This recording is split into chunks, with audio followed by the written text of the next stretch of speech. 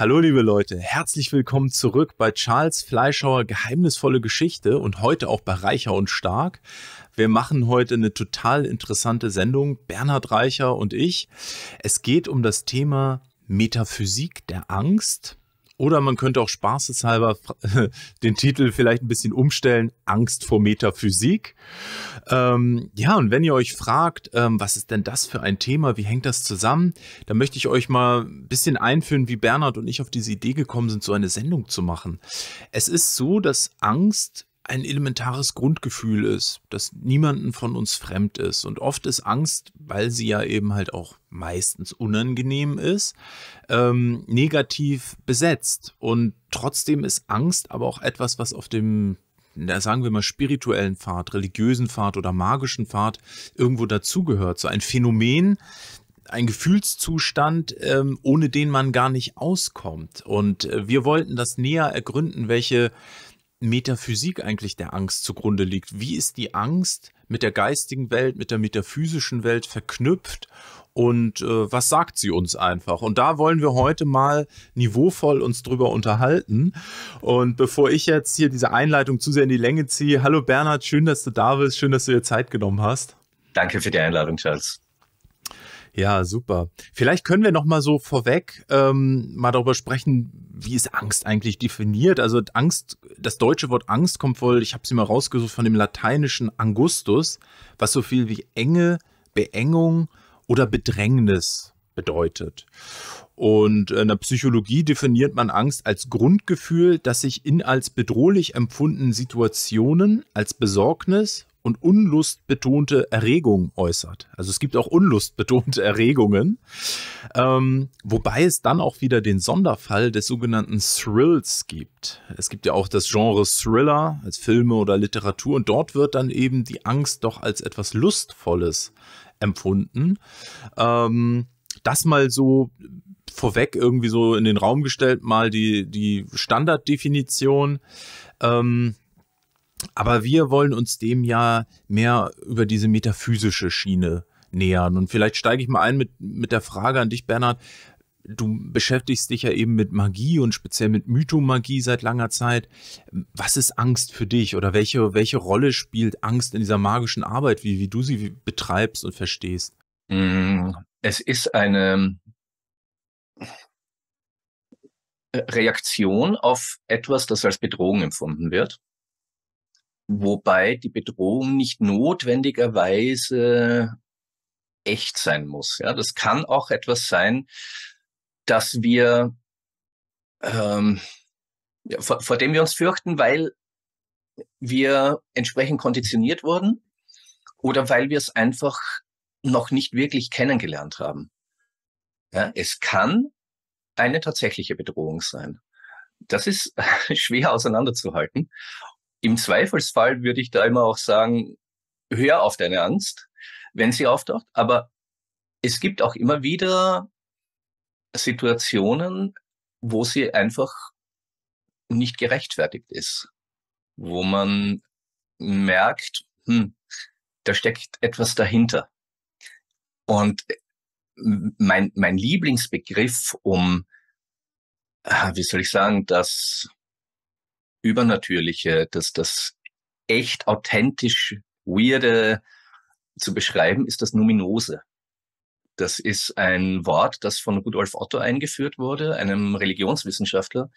Der hat das ähm, gebraucht, um eine Begegnung mit dem, ja, mit dem Heiligen zu beschreiben. Und das Numinose ähm, definiert sich dadurch, dass es sowohl anziehend ist, schön, faszinierend, als auch furchterregend und erschreckend. Es ist beides gleichzeitig. Das heißt, eine echte, authentische Begegnung mit etwas Göttlichem, Heiligem, Okkultem, was auch immer, zeichnet sich dadurch aus, dass wir es als unglaublich groß, schön und ehrfurchtgebietend und äh, erschreckend empfinden. Beides gleichzeitig. Rudolf Otto nannte es das Mysterium tremendum et fascinosum. Beides gleichzeitig. Das ist etwas, wenn ich eben in der Magie ähm, Kontakt habe mit, et, mit, mit etwas Andersweltlichem, dann ist das das Kriterium für mich.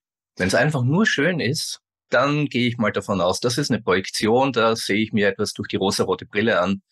Ähm, was echtes ist beides gleichzeitig. Und das haltet unser System schwer aus.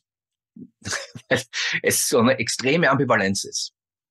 Ja, ich finde es schön, dass du Rudolf Otto ansprichst. Der war, es gilt als Klassiker in der, in der Religionswissenschaft. Der hat ähm, 1917 so sein Hauptwerk verfasst, das nennt sich auch Das Heilige und, und aus diesem Buch stammen halt auch eben diese Geschichten mit dem Mysterium Tremendum und Mysterium Fascinorum. Ähm, und er ist so dieser Frage eben nachgedacht, Gang, wie, wie praktisch mystische Erfahrungen, Gotteserfahrungen, wie die beschaffen sind und, und ist dann eben auf genau diese Sachverhalte gekommen. Ähm, Mysterium Tremendum bedeutet ja auch übersetzt ungefähr so viel wie schauervolles Geheimnis. Also man, man nimmt dieses Geheimnis wahr, man erlebt es und, und dann löst es eben, ja, in einem gewissen Sinne Angst aus. Also die gehört auch dazu.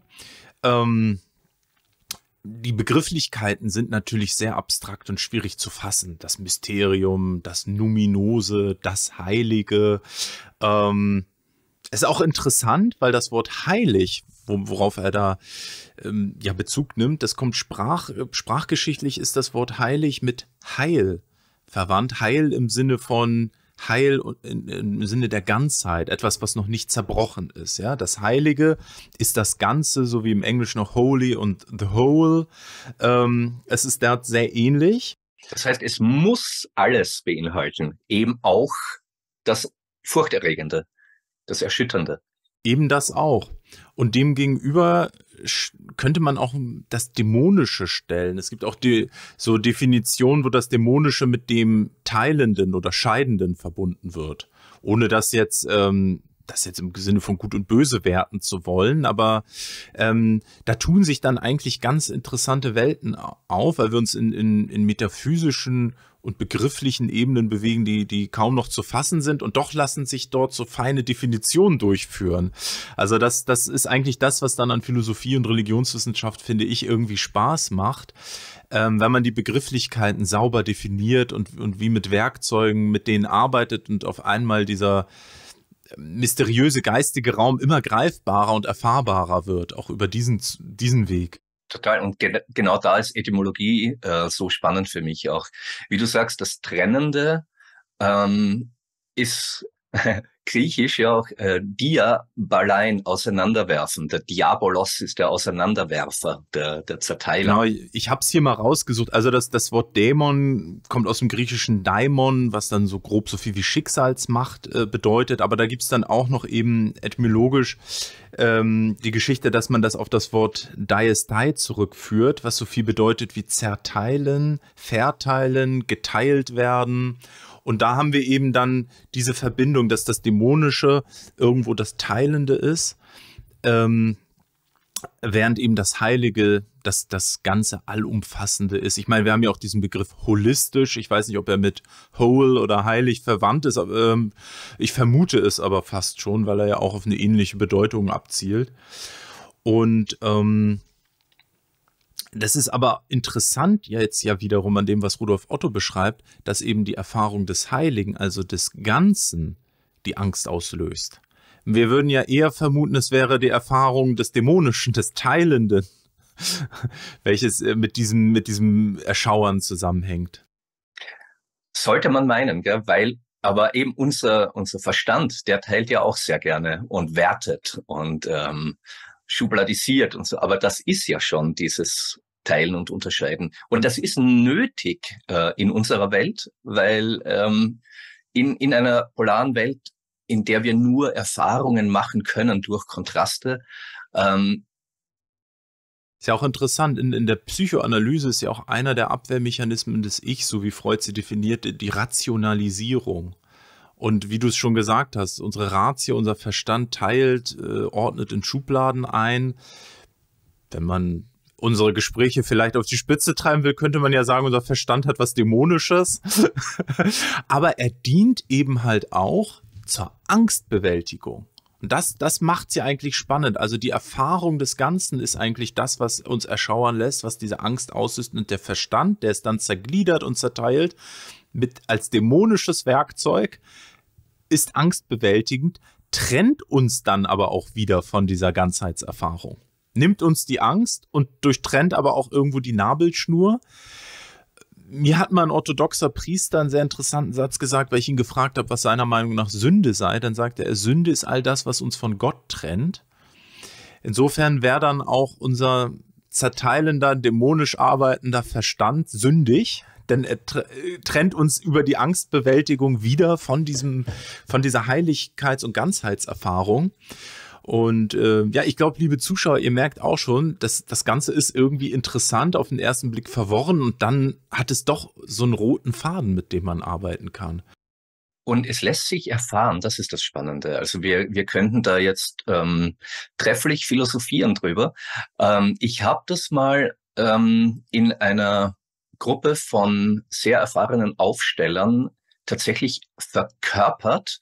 Ähm, also wer Aufstellungsarbeit kennt, ähm, man, man kann ja nicht nur Familienmitglieder darstellen, sondern auch abstrakte Prinzipien oder so.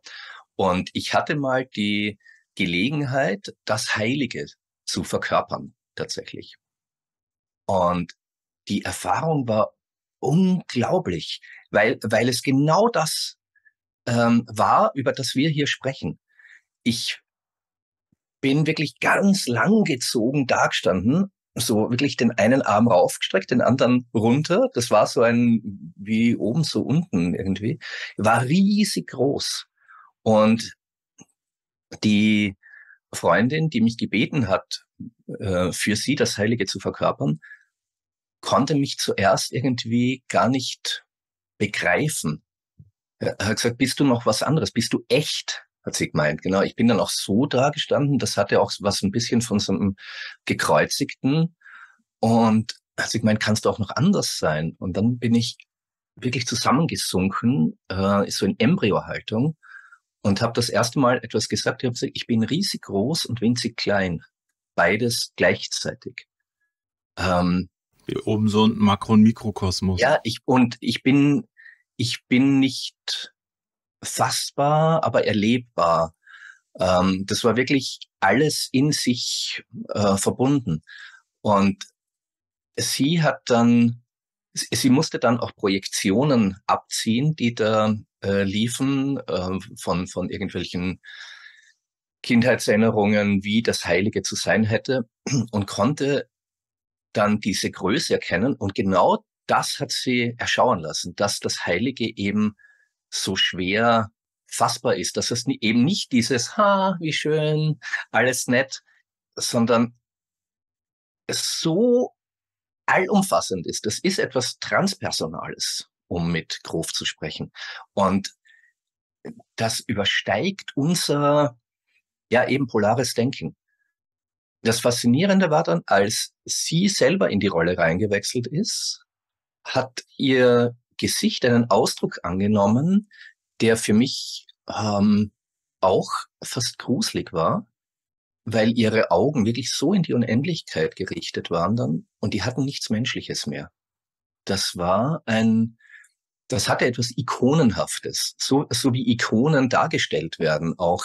Das ist zwar ein menschlicher Körper noch, aber dahinter, also da, da, da scheint etwas durch, das das Menschliche bei weitem übersteigt.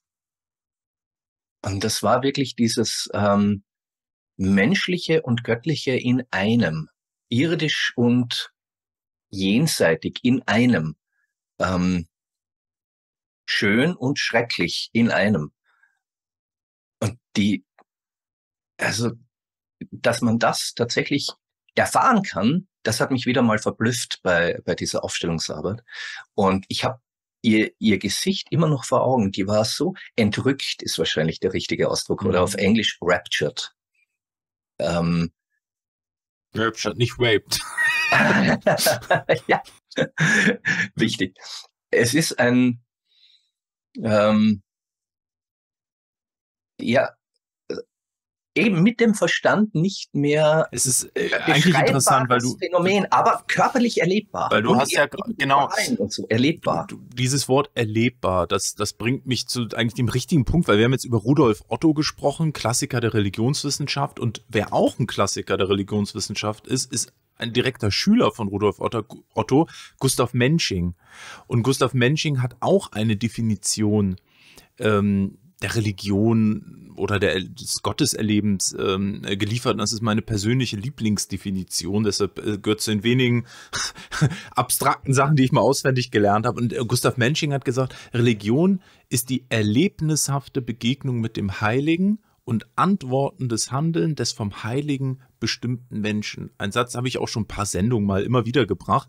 Äh, nicht zum An Angeben, guck mal, was ich Tolles auswendig gelernt habe, sondern weil es einfach so extrem gut ist. Man kann sich den Satz auf der Zunge zergehen lassen. Er macht Spaß. Er ist einfach irgendwie total, ich sag's mal so aus meinem Bauchgefühl heraus, treffend, trifft den Nagel auf den Kopf. Und da geht's halt genau darum, dass man das Heilige ähm, nicht richtig fassen kann, man kann es erleben und dann durch sein Handeln darauf reagieren. Und das hat, äh, daran erinnerte mich jetzt auch so deine Schilderung, deine Anekdote aus dem wahren Leben.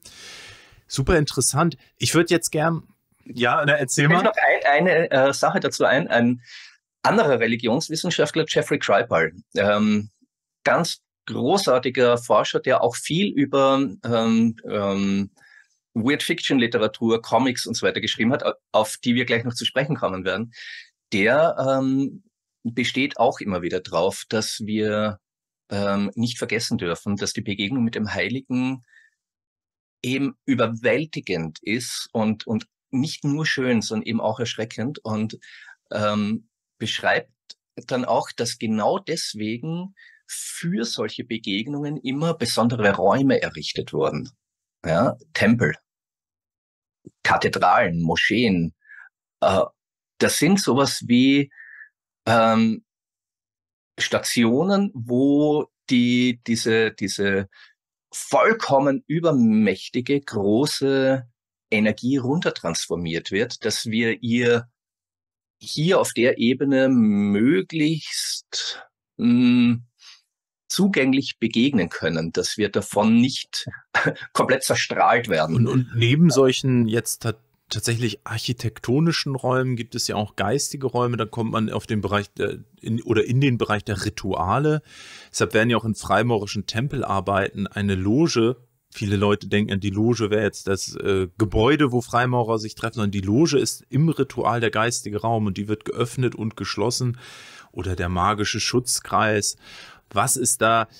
Äh, gibt. Also Rituale als auch Sakralbauten dienen eigentlich dazu, uns in geschützten Rahmen und sicherlich auch auf effektive und funktionierende Art und Weise diesem Heiligen zu nähern. Man könnte vielleicht auch von Techniken der, der mystischen Techniken sprechen oder okkulten Techniken. Ja, und das ist uralt. Ja. Also der, der älteste magische Kreis, den wir haben, ist ähm, von, vom Neandertaler das ist nicht mal Homo sapiens gewesen. Es gibt äh, eine Höhle in Frankreich, ähm, wo, wo so ein Kreis aufgebaut ist aus ähm, Tropfsteinen, die extra abgebrochen wurden und so errichtet wurden. Das ist ähm, ur, ur, uralte Technik. Und äh, natürlich auch in, in den Tempeln der Antike und so weiter. Auch, dass man sich dem nähert auf eine entsprechende Weise, dass vorher gefastet wird, gebetet wird oder so. Ähm, oder bei, bei indigenen Kulturen, in, in schamanischen Ritualen oder so. Das ist nicht etwas, was so nebenbei geschieht. Das hat was mit einer gewissen, äh, ich glaube, Erfahrung zu tun, dass man seinen Geist entsprechend und auch seinen Körper entsprechend einstellt auf so eine Begegnung mit dem Mysterium Tremendum et Faszinosum.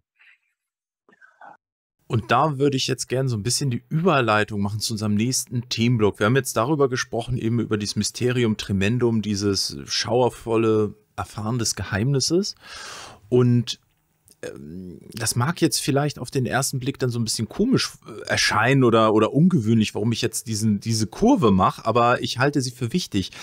Wir wollen über Literatur sprechen und ähm, speziell über das Genre Horror oder Weird Fiction. Denn Horror ist auch definiert. Horror kommt, das Wort kommt auch aus dem Lateinischen und bedeutet so viel wie Schauer, Grausen oder Entsetzen. Und, und Horrorliteratur soll laut Definition verängstigen, erschrecken, verekeln. Das heißt, Horror als Genre zielt darauf ab, Gefühle in uns auszulösen, die eben diesem Mysterium Tremendum auch näher kommen. Und zusätzlich könnte man dann ja auch noch mal anführen, dass jetzt das Horrorgenre interessanterweise sich ja auch oft mit so übersinnlichen äh, Themen und Wesenheiten befasst, also auch mit, mit, mit eben dieser dämonischen Welt. Es geht um Vampire, Werwölfe, Geisteskranke, Besessene. Also ihr kennt ja, wisst ja, was Horror ist. Also interessanterweise hat es auch von, von den Protagonisten und Figuren, die im Horror auftauchen, hat es mit dieser religiösen Sphäre zu tun. Und dann zielt es darauf ab, Gefühle auszulösen, die wiederum mit der Erfahrung des Heiligen zusammenhängen. Und das, finde ich, zeigt, dass das, das Horrorgenre oder im Englischen gibt es noch etwas abweichend, weil wir da nochmal spezifizieren werden, das Weird Fiction Genre ähm, äußerst anspruchsvoll ist. Weil ich bin früher durch die Welt gerannt und dachte, Horror ist es, also noch trivialer als Horror ist vielleicht Slapstick.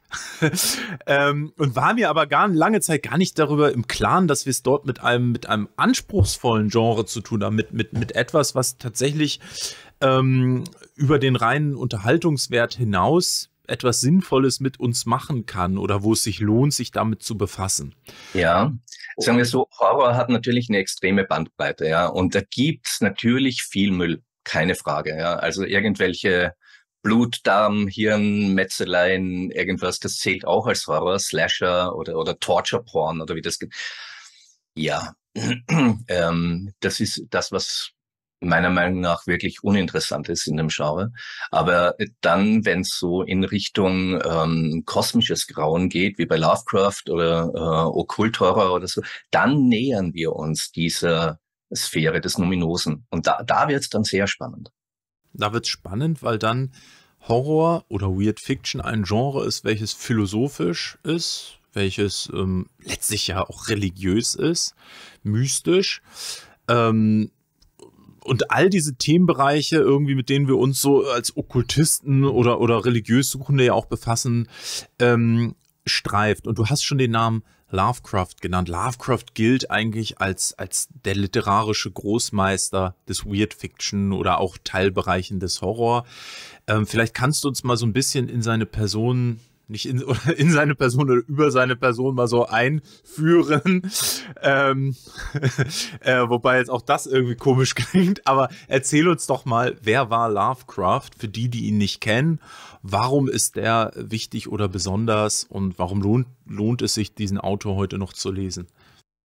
Tja, ähm, man könnte über, über ihn ganze Sendungen machen wahrscheinlich, aber äh, kurz zusammengefasst, Howard Phillips Lovecraft, ähm, 1890 bis 1937, also er ist nicht besonders alt geworden, ähm, wird auch als der Einsiedler von Providence bezeichnet. Ähm, er ist kaum jemals über äh, Providence hinausgekommen, war sehr ein Kind seiner Zeit, ähm, eigentlich eine Epigone. Am liebsten wäre er, glaube ich, so ein englischer Aristokrat gewesen, der ähm, einfach, weil er so viel Geld hat, ähm, nichts anderes tun muss und sich den schönen Künsten hingeben kann und halt schreibt, weil, weil er das gerne mag.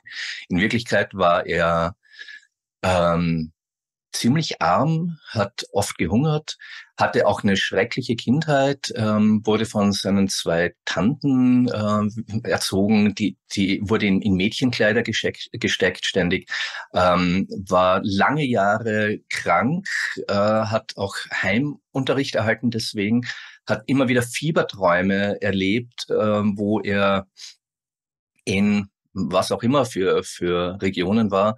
Äh, und war, war eben sehr zurückgezogener ähm, Einzelgänger, äh, hat sich aber ein enormes Wissen angelesen, eben auch viele Literatur, die damals schon etwas fragwürdig war und äh, hat sich auch ein Weltbild angeeignet, das ähm, ja man nicht anders als rassistisch bezeichnen kann, das in seinen Schriften auch immer wieder durchkommt.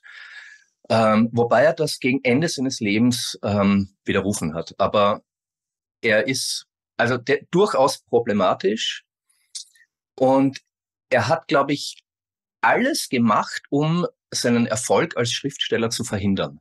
Also wenn man ein erfolgreicher Schriftsteller werden will, muss man im Prinzip nur das Gegenteil von dem machen, wie er das so gemacht hat. Er, er hat ja auch überwiegend, ich glaube, das war so sein Credo, er hat gesagt, Geschichten oder so Horrorgeschichten, Weird Fiction Geschichten, die sollen an einem Stück durchlesbar sein, damit sie ihre volle Wirkung erzielen. Deshalb gibt es überwiegend eher so kürzere Erzählungen von ihm. Und die wiederum hat er zu Lebzeiten, glaube ich, fast nur in Zeitschriften veröffentlicht. Und erst nach seinem Tod wurden daraus mal, wurde das mal zusammengefasst und als Bücher oder gesammelte Werke rausgegeben. Also der war eigentlich überwiegend, muss man sagen, Zeitschriftenautor. Ja, genau, äh, in, in Pulp-Magazinen, äh, in Weird Tales, eines der, also wirklich so was, was man als Groschenheft oder so bezeichnet. Also es war ein bisschen mehr, aber der Einfachheit halber, da hat er vor allem veröffentlicht, hat ähm, auch für andere Autoren äh, das redigiert, ähm, für quasi kein Geld, äh, teilweise dann so umgeschrieben, dass es eh schon mehr seine Geschichte wurde.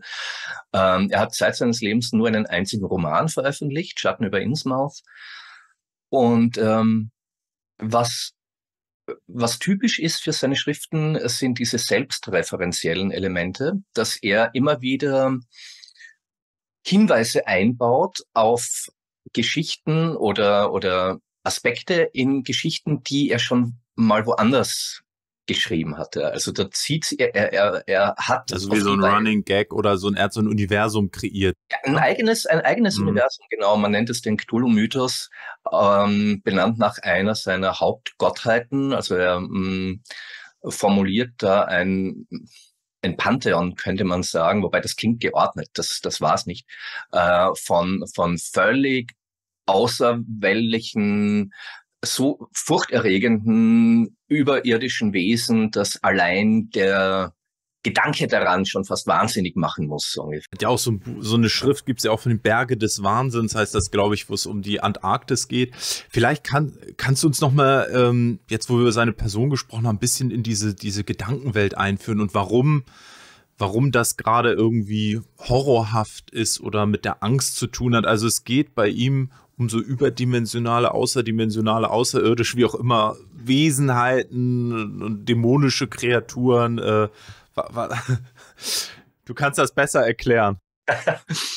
ähm, er war er war Materialist, er hat äh, spirituelle äh, Dimensionen komplett abgelehnt, interessanterweise, ähm, und hat aber immer wieder darüber geschrieben und äh, hat gemeint, das, was den Menschen am meisten beschäftigt, ist, ist die Angst. Und am meisten Angst löst aus, dass das Universum eben nicht geordnet ist. Da gibt's nichts. Es ist reines Chaos. Ähm, und seine, seine äh, Götter, die er beschreibt, sind entsprechend auch nicht, teilweise abgrundtief böse, teilweise aber komplett wahnsinnig. Azathoth, äh, äh, der einfach in der Mitte des Universums äh, tanzt zu wahnsinnig machenden Flötentönen äh, und, und es gibt äh, verschiedenste Wesen, die, die alle nur äh, dafür da sind, die, die hauchdünne Schicht an, an wohlgeordnetem zivilisatorischen Fortschritt zu zerstören und die Welt wieder ins Chaos zu stürzen. Und die beeinflussen entsprechend Menschen, ähm, die ähm, einen Kult erschaffen um diese Gottheiten, die versuchen, diese äh, Gottheiten wieder heraufzubeschwören, äh, weil sie davon Vorteile bekommen. Das ist so wie ein Teufelspakt quasi. Aber dafür, ja, werden sie zerstört, äh, ihre Seelen zerfetzt und was ist. Also es ist. Ähm, du das gerade so sagst, so Seelen zerfetzt. Äh, Lovecraft ist ja auch berühmt dafür für den ja fast schon inflationären, aber dafür auch ganz gezielten Einsatz von Adjektiven. Also der, ich, ich habe jetzt leider kein Textbeispiel, aber der unaussprechlich ist eines seiner wichtigsten Worte. Der beschreibt halt dann Dinge auf eine Art und Weise, die die nur wie nur beinahe er das konnte, ne? Ja, und das Spannende ist, es ist es gilt als schlechter Stil. äh, so viele Adjektive zu verwenden.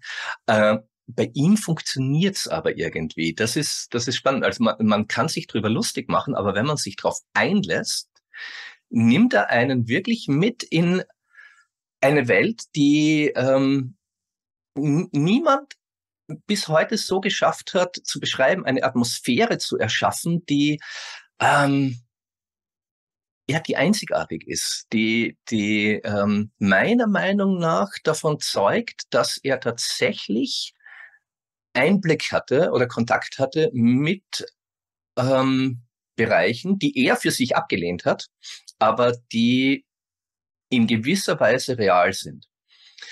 Spannend ist ja, dass er, obwohl er ein Einsiedler war, ähm, extrem viele Kontakte hatte zu anderen Schriftstellern. Ja, das ist dieser berühmte Briefwechsel, den er hatte. Ne? Also der war er hat mehr Briefe geschrieben als, als äh, Kurzgeschichten oder, oder. Man kann sich das heute gar nicht mehr vorstellen, aber nochmal für die Zuschauer. In dieser Zeit, in der er lebte, also an Ende des 19., Anfang des 20. Jahrhunderts, da haben Leute sich, gerade Gelehrte und Intellektuelle, unheimlich lange Briefe geschrieben. Es gibt zum Beispiel ein ganzes Buch, das ist der Briefwechsel zwischen C.G. Jung und Sigmund Freud. Das habe ich mal gelesen als Beispiel. Und der Lovecraft war halt auch so ein Briefeschreiber, der stand richtig in Korrespondenz mit mehreren intellektuellen Freunden. Und so ein Brief von Lovecraft, der konnte mal 70 Seiten haben. Und da hat er dann über ach, philosophische Themen, sozialpolitische, geschichtliche und so weiter und so fort irgendwie mit diesen Leuten referiert. Daher wissen wir halt eben auch, dass er so gewisse rassistische Weltbilder vertreten hat, weil er da in, in seinem Briefverkehr dann auch drüber debattiert hat. Ähm, ja, auch in seinen Geschichten kommt es teilweise sehr offen vor. Ja. Ähm, und also spannend ist, dass äh, das nannte sich dann auch der Lovecraft Circle. Also es haben sich wirklich viele andere Schriftsteller und Fans äh, so gebildet und die haben sich gegenseitig befeuert und haben auf ähm, seinen Ideen aufgebaut und eben diesen Cthulhu-Mythos weiterentwickelt. Äh, da sieht man auch schon seinen Einfluss. Er selber hat, wie gesagt, nicht so viel. Also sein, auch bis heute, sein Werk ist überschaubar. Also es sind ein paar Bücher, die kann man recht schnell lesen. Aber sein Einfluss dann auf äh, viele andere Autoren und wie er sich dann weitergetragen hat, das kann man gar nicht überschätzen. Das ist, also die, die heutige Weird Fiction und Horrorliteratur wäre ohne Lovecraft nicht denkbar. Er ist in gewisser Weise so der, der Großvater ja, so wie, wie Freud für die Psychologie vielleicht, ne? So einer, den man nicht wegdenken kann. Ja, ja, in gewisser Weise, ja. Ja, mir fällt übrigens, weil du jetzt Jung erwähnt hast, noch ein, warum die Auseinandersetzung mit, mit der Angst so wichtig sein kann. Ähm, von Jung stammt ja das Konzept des Schattens als Archetyp. Alles das, was wir nicht wahrhaben wollen an uns selbst, dass wir in den Schatten des Bewusstseins drängen und ähm, bei uns selber nicht sehen, aber bei anderen sehr wohl. Das ist das, was uns dann bei anderen extrem stört, äh, dass wir an anderen verurteilen oder dass wir an anderen ähm, bewundern, ja, weil das gehört auch zum Schatten. Das, was so gut können wir ja nicht sein. Auch das projizieren wir dann auf andere. Ähm, aber eben gerade dieser dunkle Aspekt des Schattens, der löst Angst aus.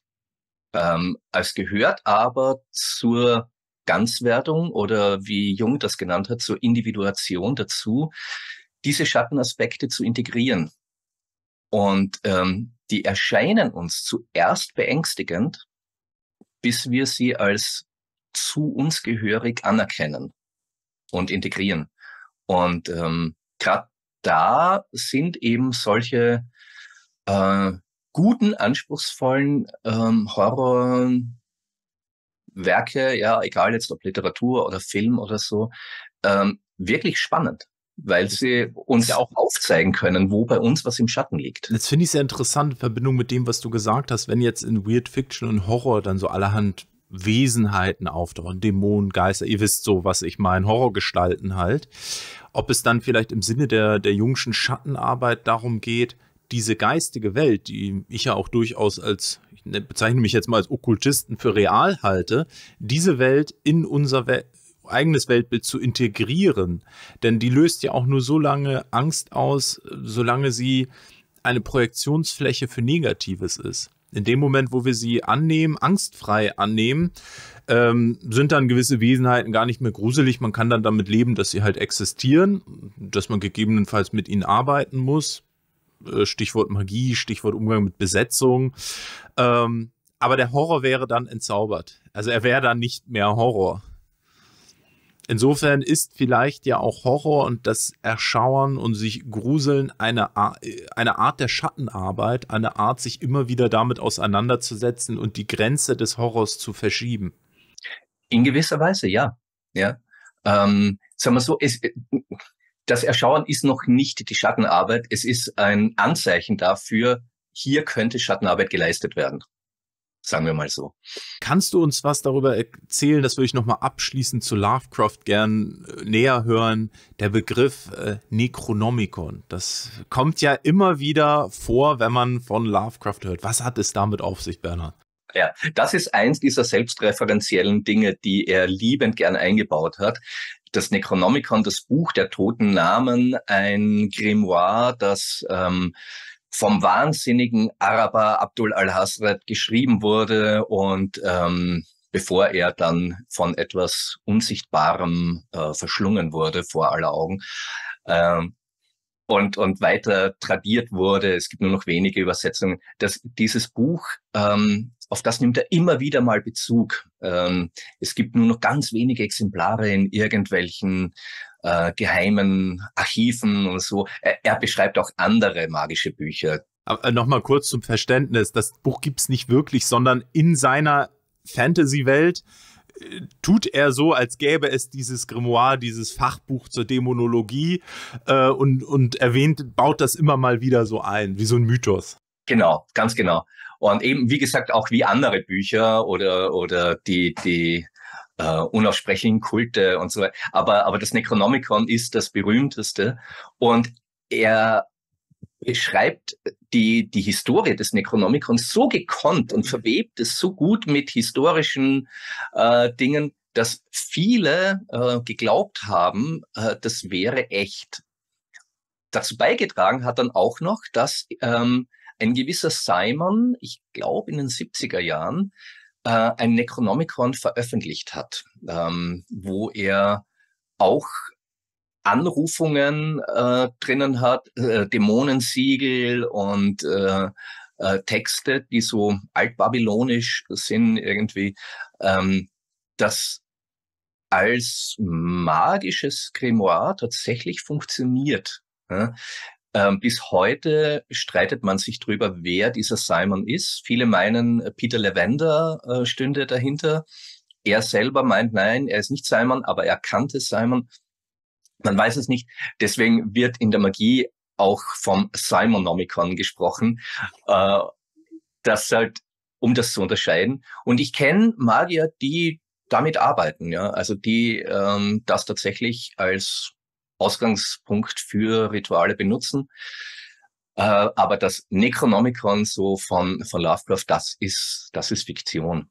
Ähm, allerdings eine Fiktion, die ja, da sind wir in unsere Realität hineinreicht. Die Frage, wie, wie, wie, wie fiktiv ist denn dann sowas, wenn man das so, ja, ist die Frage, erschafft als Autor oder vielleicht als Autor nur beschreibt oder umschreibt.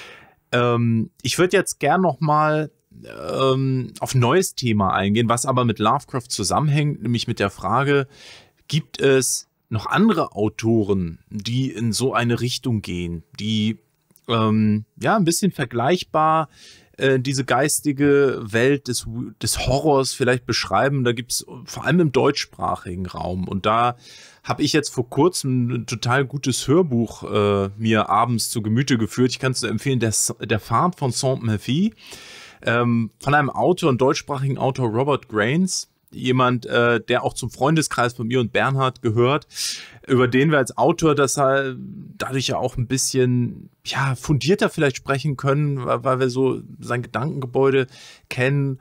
Und das ist eben jemand, der Weird Fiction schreibt in deutscher Sprache und äh, gerade in, in, diesem Werk, der Fahrt von Saint-Murphy, geht es ganz stark auch so ein bisschen in diese Lovecrafthafte Richtung. Es geht um ein, ein spirituell gnostisches Weltbild. Und ähm, es ist eine Art Einweihungsgeschichte, könnte man so sagen. Ähm, unheimlich ähm, anspruchsvoll. Also auch wieder mal so ein Fall, wo, wo ich sage, ähm, dieses Genre hat halt viel mehr zu bieten, als man so als Laie denken könnte. Und es geht vor allem um den Kontakt mit Wesenheiten und Besetzungen. Ähm, Robert Grains selbst nennt sie die Einnistlinge. Ähm, ja, total spannend. Du kennst das, das Buch oder ja auch eben das Hörbuch auch. Ähm, was fällt dir dazu ein? Was gibt es da zu sagen? Also, um mal ein bisschen auch auf deutschsprachige Literatur zu sprechen zu kommen. Dieses spezielle Buch habe ich noch nicht gelesen bzw. gehört, äh, aber ich kenne andere Geschichten von ihm. Ähm, und ja, er ist jemand, der, und das mag ich sehr, in der heutigen Zeit wirklich einen ähm, Stil schreibt, der sehr an, an Lovecraft angelehnt ist, aber trotzdem ähm, eben sein, seine Eigenständigkeit entwickelt hat.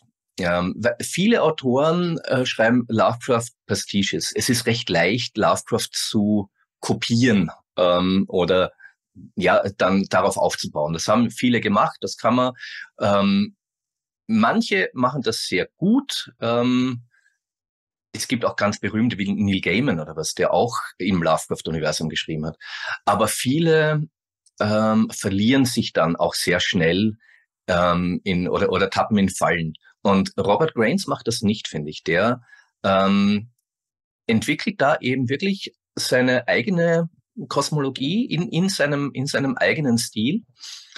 Und ich finde es eben total schön, dass es Hörbücher gibt dazu, weil gerade bei Lovecraft ähm, oder diesem ist die, die Sprache, der Rhythmus, der Tonfall ganz wichtig. Gerade auch diese Adjektivitis, die äh, da immer wieder durchkommt. Und äh, Robert Grains hat da ja einen, einen Sprecher, der diese Stimmung, um die es da viel geht, wirklich großartig transportiert. Ja, ich werde euch auf jeden Fall nochmal hier unten auch äh, den Link zum Hörbuch einblenden und in der Videobeschreibung findet ihr das auch. Aber äh, warum ich darauf zu sprechen komme, ich fand, fand dieses Hörbuch oder auch das Buch als solches so interessant, weil es praktisch Munition im spirituellen Kampf unserer Zeit liefert, so könnte man das sagen. Es geht nämlich um eben dieses metaphysisch-gnostische Weltbild, aber auch um in der Verbindung oder die, das zeigt er halt eben so, so gekonnt auf zum Transhumanismus und den Fragen unserer Zeit gepaart mit einer Einweihungsgeschichte. Und ähm, das, das Ganze dann noch in eine unheimlich schöne, tiefe und anspruchsvolle Sprache verpackt, dass man hier wirklich von so einem, ja, leider noch unbekannten Meisterwerk sprechen kann.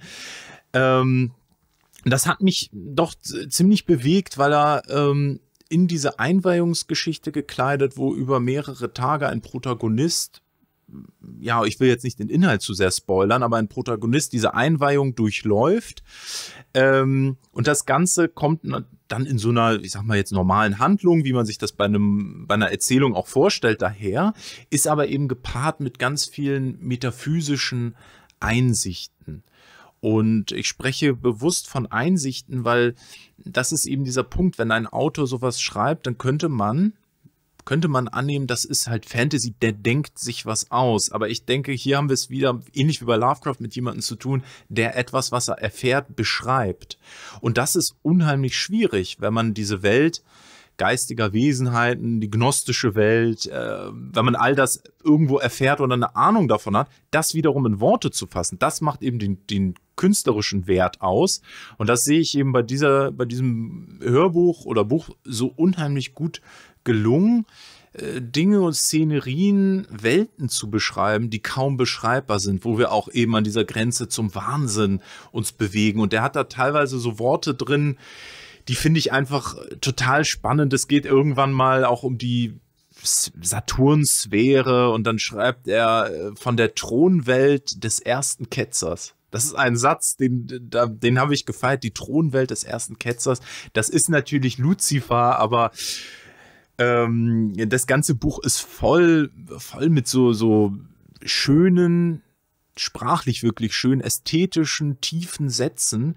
Insofern hat es mir, obwohl es auch schwieriger Stoff ist, unheimlich viel Spaß gemacht, mich damit so auseinanderzusetzen, ähm, weil man solche Gedanken dieser Tiefe sonst auch eher in philosophischen oder religionswissenschaftlichen Büchern vermuten würde. Und, und was ich halt heute mal so aufzeigen möchte, wollte auch, ist, dass es halt eben auch Prosa gibt, wo das enthalten ist. Klar, weil wenn es um Goethe oder so geht, wissen wir das auch, ist jetzt nicht ganz neu, aber eben auch zeitgenössische Dinge oder aus Genres, wo man es nicht erwartet, wie Horror oder Weird Fiction. Wenn es jetzt um klassische Dramen geht, äh, ja, das haben wir schon in der Schule gelernt, das ist anspruchsvoll, da ist viel drin. Ja, oder Opern oder so aber eben halt auch ähm, diese Genres, die ja auch einen Unterhaltungswert haben. Das darf man ja nicht vergessen. Horror ist ja alles, aber eigentlich nicht trocken oder Weird Fiction, sondern man kann das lesen, es unterhält einen und, und gleichzeitig ähm, transportiert es eben so viele An Antworten oder, oder, oder Bilder aus dieser metaphysischen Welt, gibt Antworten auf Fragen unserer Zeit. Und ähm, das finde ich hier unheimlich gut gelungen. So ein anderer Satz, der, der, den, der von dem Robert Grains stammt, ich weiß gar nicht, ob der im Buch steht oder, oder ob er mir den mal gesagt hat, ist, fand ich auch so genial. Angst ist eine spirituelle Währung. Und, und da haben wir natürlich auch wieder so diesen Bogen zu unserem Thema. Und warum ist Angst eine spirituelle Währung? In, in, dem, in dem Buch Der Fahrt von Saint-Murphy geht es halt auch viel um Besetzungen und um Wesenheiten, man könnte sie so in der modernen gnostischen äh, Sprache als Achonten und ähnliches bezeichnen, die sich nähren, die sich nähren von unseren Emotionen und eben halt unter anderem vor allem auch von der Angst. Und, und Bernhard, vielleicht kannst du da ein bisschen was drüber erzählen, weil mit dem Thema Besetzung und, und so Wesenheiten, was auch immer Besetzungen sind, die sich von Angst nähren, äh, da kennst du dich ja auch aus und hast das eine oder andere äh, zu erzählen. Ja, das ist etwas, was, ähm, glaube ich, so ein Allgemeinplatz ist inzwischen, dass ähm, wir gerade dadurch, dass wir ähm, in Angst verfallen, äh, Tür und Tor öffnen äh, für Wesen, Energien, Qualitäten, die sich, die sich davon ernähren und die deswegen auch immer wieder Angst schüren. Ähm, wenn ich als Magier mit Besetzungen arbeite, ist es eben für mich unerlässlich, möglichst neutral zu bleiben, mich nicht einschüchtern zu lassen, weil das kann manchmal schon sehr äh, gruselig wirken. Ja, das, das ist eben genau das, was diese Wesenheiten können ähm, und sich dann nicht beeindrucken zu lassen, sondern neutral zu bleiben und sagen, okay, ja gut, dann wirst du mich und all meine Nachkommen verfluchen. Ja, okay, aber jetzt haben wir was anderes zu besprechen. also das ist eine gewisse Dreistigkeit, die man da auch an den Tag legen muss, wenn man es mit solchen Wesen zu tun hat. Dreistigkeit heißt nicht Unvorsichtigkeit oder Fahrlässigkeit. Das ist schon ein, es ist eine Gratwanderung. Ähm, ich vergleiche es immer ein bisschen wie mit ähm, mit diesen speziell geschulten Verhandlern bei Geiselnahmen, ja, die, die bei einer Spezialeinheit sind und die möglichst ruhig, deeskalierend eingreifen, mit dem Geiselnehmer verhandeln, ähm, auch vermitteln, dass sie ihn verstehen, dass sie bis zum gewissen Grad auf seiner Seite sind und einfach nur dafür da sind, dass jetzt allen Beteiligten möglichst gut geht und äh, den raus so ungefähr mit dieser Haltung ähm, gehe ich an Besetzungen dran, wenn ich mit diesen Wesen kommuniziere. Ähm, weil sobald man in die Falle tappt und in ihr Spiel einsteigt und diese Angst mitmacht, ist vorbei. Also das ist ein, ist eine bestimmte Haltung, die nicht leicht zu kultivieren ist. Ich finde es auch interessant, weil, was du ja beschreibst, ist ja im gewissen Sinne auch eine rituelle Haltung und das ist eine Art von Ritualarbeit. Und so wie ja auch, wir hatten ja vorhin darüber gesprochen, dass Sakralbauten mit den Ritual, Ritualen auch verbunden sind und so im gewissen Sinne ja auch diese Weird Fiction Literatur denn die hat funktioniert ähnlich auch wie teilweise wie ein Ritual. Es kommt also auf die, die Lesart drauf an. Also gerade jetzt bei dem Pfad von Saint-Murphy ähm, ist mir eigentlich so beim Lesen klar geworden, das beschreibt auch im gewissen Sinne ein, ein Ritual, wenn man, wenn man den Text, der vieldeutig ist, auch auf die richtige Art und Weise versteht oder den Zugang dazu findet. Und, und irgendwo verschwimmt das dann. Ist, ist Weird Fiction auch rituelle Literatur? Könnte man das so sagen? Ja, da komme ich wieder zu Jeffrey Kripal zurück, der äh, in einem Buch äh, namens Mutants and Mystics ähm, das ganz genau beschrieben hat sogar.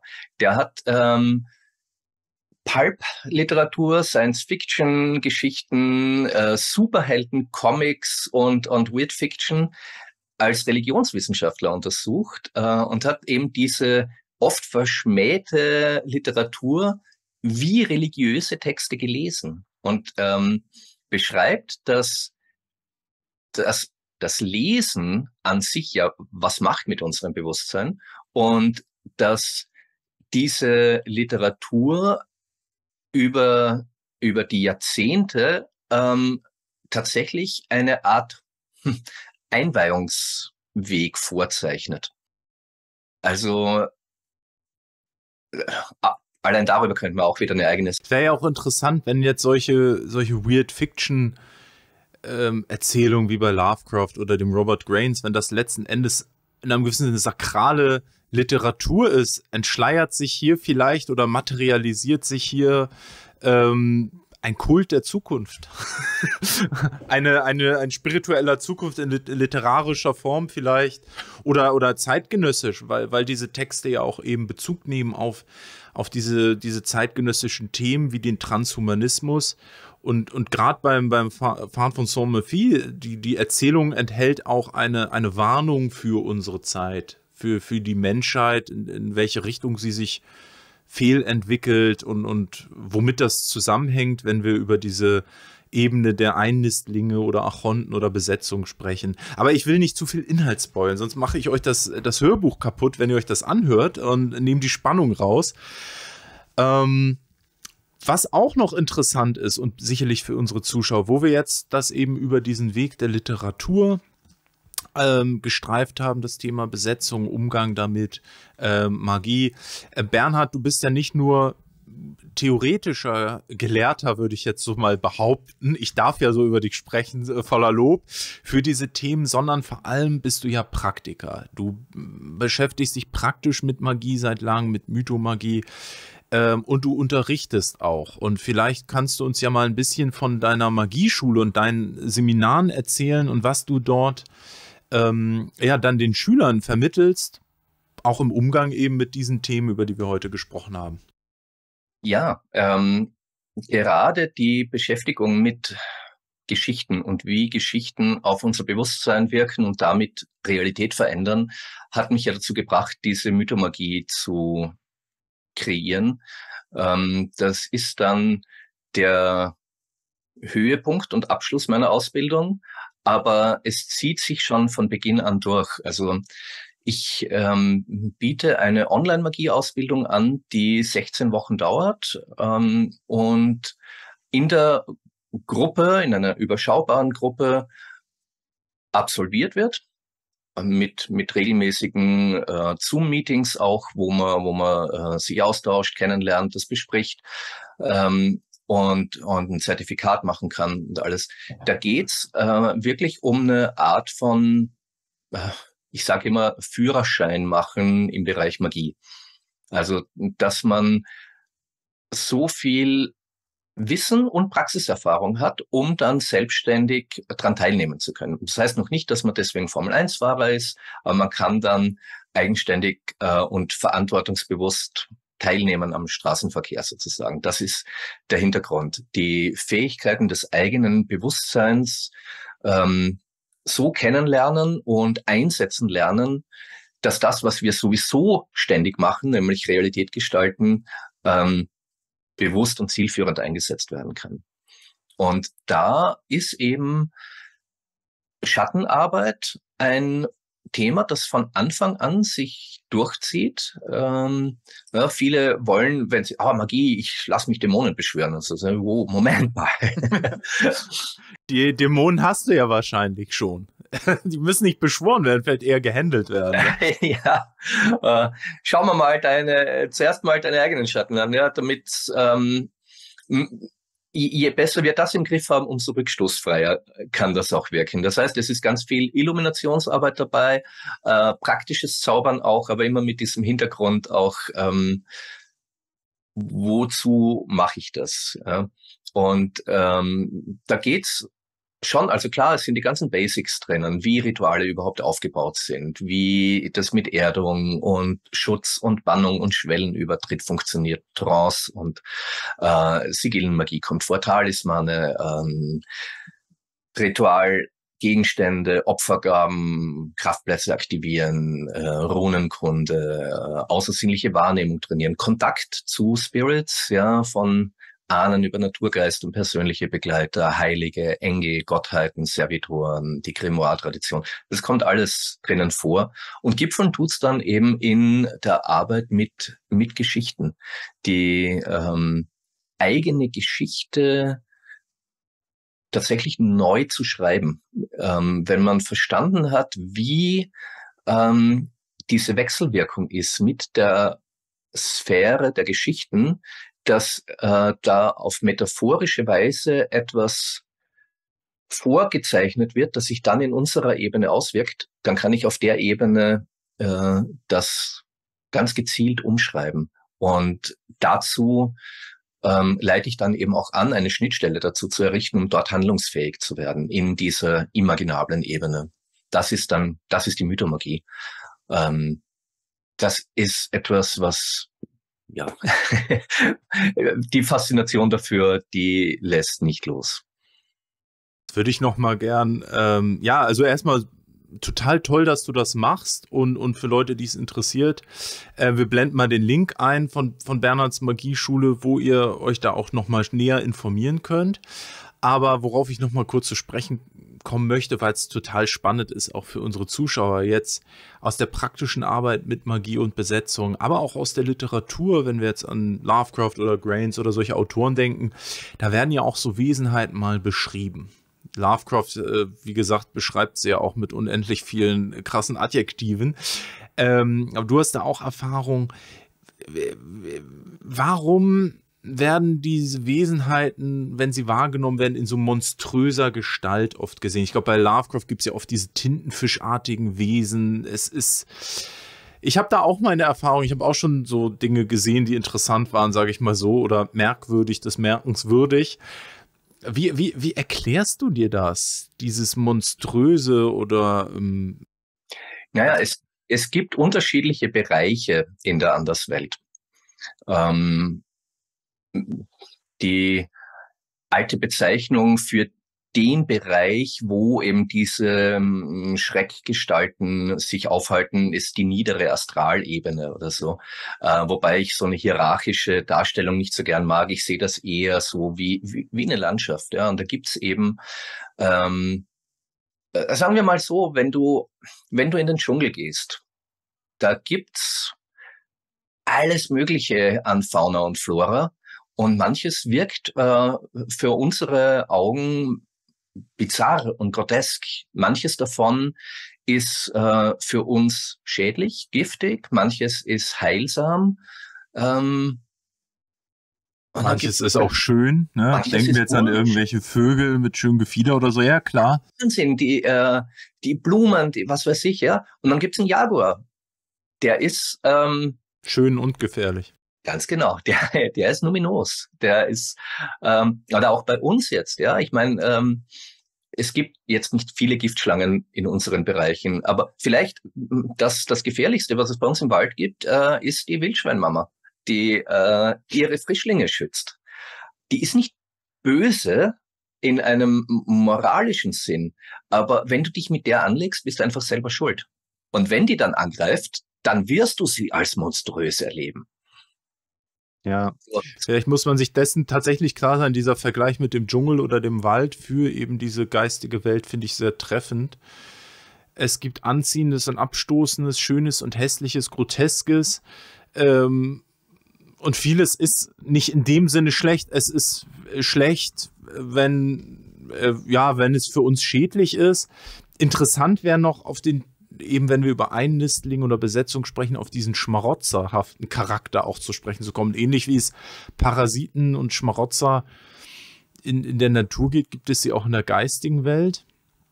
Und ich glaube, das sind auch teilweise diese dunklen Wesenheiten, die dann in solchen, solchen Erzählungen beschrieben werden von solchen Autoren. Klar, die sind natürlich spektakulär, die geben viel her. Äh, äh, ähm, es ist für uns oft einfacher, über äh, etwas zu schreiben, wo es beinahe schiefgegangen ist. Das ist interessant. Wenn alles Friede, Freude, Eierkuchen ist, ja. keine Geschichte. also deswegen je, je spektakulärer und dramatischer, umso lieber hören wir davon auch. Wobei ich ja so weit gehe, auch Geschichten als Lebewesen, äh, als, als ähm, bewusste Entitäten zu betrachten. Ähm, und auch Geschichten können besetzende Wirkung haben. Ja, wir können von Geschichten besessen sein, von ähm, der Geschichte. Du hast Gnostik erwähnt, ja. Ich habe die Welt durchschaut. Ich bin aufgewacht, ich weiß jetzt, was gespielt wird. Und das ist eine Geschichte, die ähm, äh, wirklich eine Art Obsession erzeugen kann. Oder eine, eine Geschichte, die sagt, ähm, Jesus ist für uns gestorben und alles andere äh, ist ein Irrglaube. Also alles das sind letztlich Geschichten, die uns ähm, so formen und so prägen, dass wir uns gar nicht mehr dessen bewusst. Aber es ist die Macht des Mythos. Ja, Ganz genau, ganz genau. Deswegen, also und, und Geschichten können ähm, ganze Kulturen prägen und oder sind die Grundlage, meiner Meinung nach sind Geschichten die Grundlage der, die Grundbausteine der Realität. Und deswegen mit ihnen, mit, mit Mythen, Märchen, dem Ganzen äh, Magie zu betreiben, da wird's dann eben sehr umfassend und spannend. Und das ist, glaube ich, vielleicht auch ein sehr schönes Schlusswort für unsere Sendung. Mythen, Geschichten als Bausteine unserer Kultur. Und ähm, ja, Bernhard, vielen Dank für das Gespräch, vielen Dank für deine Zeit. Liebe Zuschauer, wie gesagt, äh, ich zeige es nochmal, das hier ist äh, das Buch Der Fahrt von Saint-Murphy, aber ich empfehle euch vor allem ähm, das Hörbuch. Äh, Link blende ich ein, hört euch das mal an. Das ist wirklich Weird Fiction vom Allerfeinsten, gerade für auch Lovecraft-Fans ähm, und, und Leute, die sich gern gruseln, die werden da auf ihre, ihre Kosten kommen. Äh, und ich sage gerade die Metaph die, die Munition für den metaphysischen Kampf unserer Zeit, die da geliefert wird, macht's interessant. Äh, der nächste Tipp, wie gesagt, kramt Lovecraft wieder aus. Wer ihn nicht kennt oder noch nicht gelesen hat, beschäftigt euch damit. Und wer sich mit praktischer Magie befassen möchte, schaut euch mal Bernhards Website an und, und seine Ausbildung und Kurse. Und alle von euch, die weiterhin informiert werden möchten über so spannende Themen, guckt mal und abonniert den Kanal Reicher und Stark von Bernhard und umgekehrt schaut mal auf meinem Kanal Charles Fleischer Geheimnisvolle Geschichte vorbei. Ähm, genau, und zum Pfad von Saint 4, jetzt fällt es mir noch ein, gibt es auch eine Hörprobe auf dem YouTube-Kanal von Robert Grains, wo seine Geschichten äh, in vertonter Form äh, zu hören sind. Den Link blende ich auch ein, da könnt ihr mal reinhören, wenn ihr euch das äh, vielleicht noch nicht kaufen wollt. so, und ansonsten ist jetzt auch, glaube ich, alles gesagt für heute. Ihr habt ein ganzes Paket an äh, neuen Themen und Bereichen, wo ihr euch informieren könnt, reinschnuppern könnt. Und ich hoffe, euch hat diese Sendung ganz viel Spaß gemacht. Mir auf jeden Fall schon. Ich liebe es ja, Themen miteinander zu verknüpfen, die auf den ersten Blick nicht zusammengehören. Weird Fiction, Horrorliteratur, Religionswissenschaft, der Angstbegriff, äh, Magie, Psychologie und das mal alles irgendwie in einen Topf zu werfen und, und äh, rumzurühren. Ja, in dem Sinne, liebe Leute, ciao und bis bald. Die Welt ist magisch.